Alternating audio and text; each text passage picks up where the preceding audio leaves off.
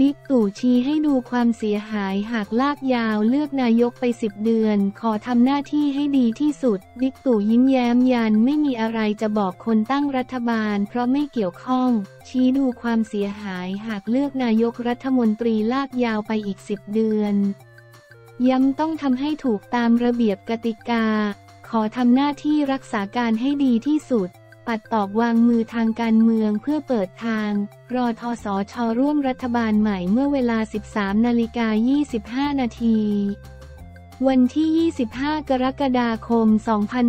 2566 ที่ทำเนียบรัฐบาลพลเอกประยุทธ์จันโอชา นายกรัฐมนตรีและรัฐมนตรีว่าการกระทรวงกลาโหมเดินลงจากตึกบัญชาการหนึ่งทันที หลังประชุมคณะรัฐมนตรีเสร็จสิ้นด้วยสีหน้ายิ้มแย้มแจ่มใสพร้อมโบกมือ ผู้สื่อข่าวกระซาว่าที่ยิ้มอย่างนี้จะไม่ตอบใช่หรือไม่ ทำให้พลเอกประยุทธ์จึงยิ้มอีกครั้ง ผู้สื่อข่าวถามว่าที่บอกว่าการตั้งรัฐบาลไม่ควรยืดไปถึง 10 เดือน นายกรัฐมนตรีกล่าวว่าก็ต้องดูความเสียหาย ต้องดูและทำให้ถูกต้องตามระเบียบและกติกา เมื่อถามถึงนายเสรีสุวรรณพานนท์สว ระบุการตั้งรัฐบาลหากไปไม่ได้มองว่าการเปิดทางนายกรัฐมนตรีคนนอกอาจจะเหมาะสม และควรไปถึงขั้นนั้นหรือไม่พลเอกประยุทธ์กล่าวปฏิเสธถึงสองครั้งว่าไม่ทราบทราบเมื่อถามย้ำว่าคิดว่าถ้าปล่อยให้ยืดระยะเวลาไปถึงสิบเดือนจริงจะเสียหายกับประเทศหรือไม่พลเอกประยุทธ์กล่าวว่า ก็ตอบกันเองก็ได้มั้งเมื่อถามว่าอยากบอกอะไรกับฝ่ายที่กำลังตั้งรัฐบาลขณะนี้หรือไม่พลเอกประยุทธ์กล่าวว่าไม่ได้เกี่ยวข้องทำหน้าที่รัฐบาลรักษาการต่อไปให้ดีที่สุด ส่วนที่นายกรัฐมนตรีประกาศวางมือการเมือง ถือเป็นการเปิดทางให้พักรวมไทยสร้างชาติ รอทอสอชอได้เข้าร่วมรัฐบาลใหม่หรือไม่พลเอกประยุทธ์ไม่ตอบคำถาม ก่อนเดินขึ้นตึกไทยคู่ฟ้าทันที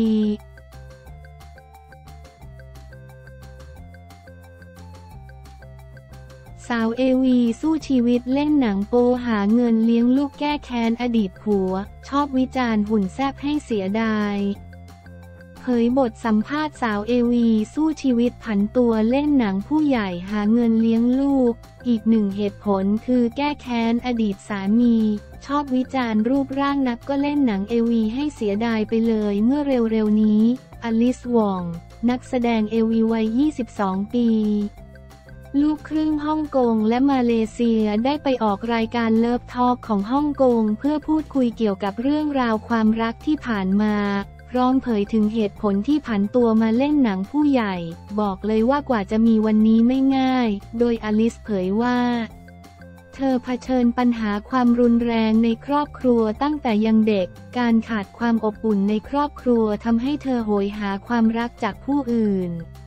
จนกระทั่งอายุ 17 ปี เธอได้พบกับอดีตสามีที่บาร์ตอนนั้นเขาอายุ 30 ปี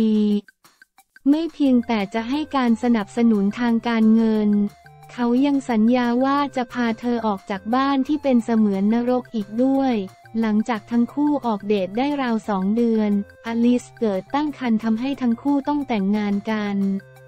ทั้งนี้ พวกเธอยังคงอาศัยอยู่ในบ้านหลังเดิม และอดีตสามีของเธอได้นอกใจไปหาโสเภณี เสียงทะเลาะของทั้งคู่ได้เรียกความสนใจจากพ่อแม่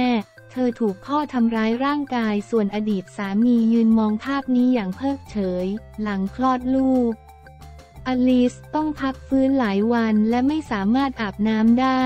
เธอเผชิญปัญหาผิวหนังมีสิวขึ้นอย่างหนักบริเวณบั้นท้าย อดีตสามีรังเกียจและเลี่ยงที่จะมีเซ็กกับเธอ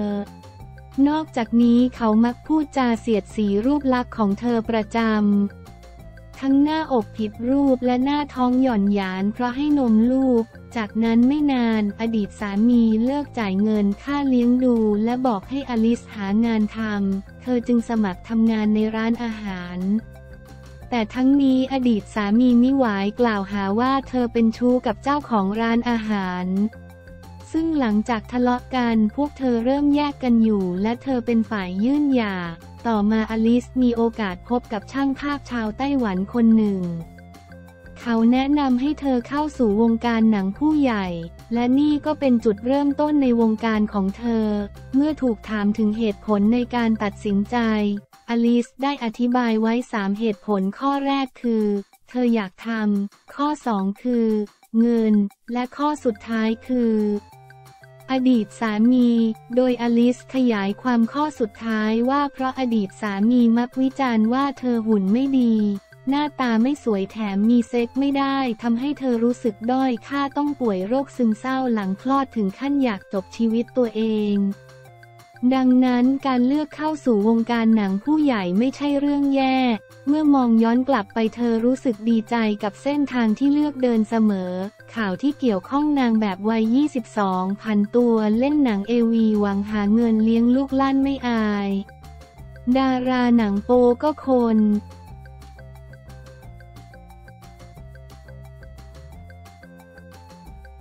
สุพิศาลเผยพิธาไม่รู้ประวัติบอดี้การ์ดที่ต้นปมถูกขุดคดีอ้างตำรวจอุ้มรีดทรัพย์ สุพิศาลเผยพิธาไม่รู้ประวัติ บอดี้การ์ดที่ต้น ปมถูกขุดคดีอ้างตำรวจอุ้มรีดทรัพย์ย้ำพรรคให้โอกาสทุกคนเท่าเทียมกัน จากกรณีที่มีกระแสสังคมตั้งคำถามถึง นายต้นบอดี้การ์ดประจำตัวนายพิธาลิ้มเจริญรัตน์หัวหน้าพรรคก้าวไกลว่าเคยถูกดำเนินคดีอ้างเป็นตำรวจปราบปรามยาเสพติดแล้วขูดรีดทรัพย์เหยื่อเจ้าของร้านขายของชำซึ่งขณะนั้นพลตำรวจตรีสุพิสารพักดีนฤนาถดำรงตำแหน่งผู้บังคับการกองปราบปราม เป็นผู้แถลงผลการจับกลุ่ม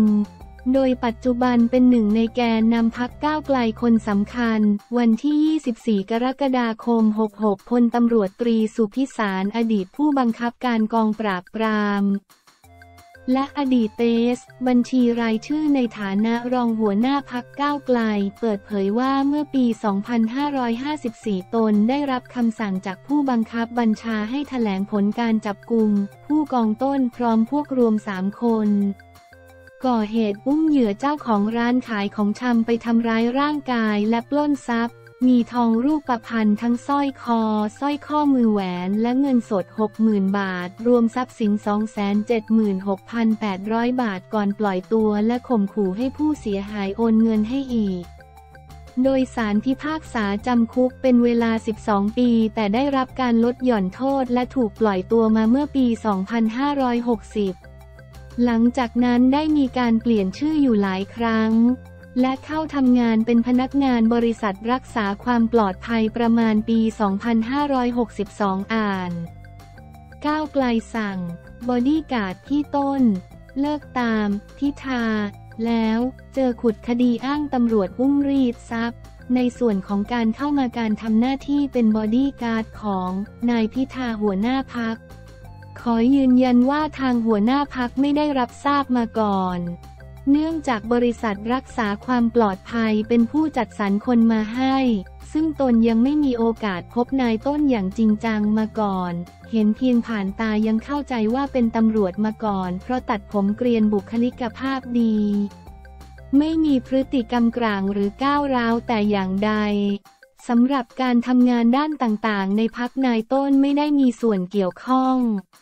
อย่างไรก็ตามเรื่องที่เกิดขึ้นยอมรับว่าส่งผลกระทบต่อภาพลักษณ์ของนายพิธาในระดับหนึ่ง แต่ในมุมของตนและคนในพักมองว่าทุกคนควรได้รับโอกาส ไม่ว่าจะยากดีมีจนหรือแม้แต่นักโทษซึ่งเวลานี้นายต้นก็ได้รับบทลงโทษตามกฎหมายไปแล้ว ควรให้โอกาสเขาในการทำงาน ซึ่งเรื่องของความเท่าเทียมเป็นหนึ่งในนโยบายของพรรคที่ให้ความสำคัญมาโดยตลอด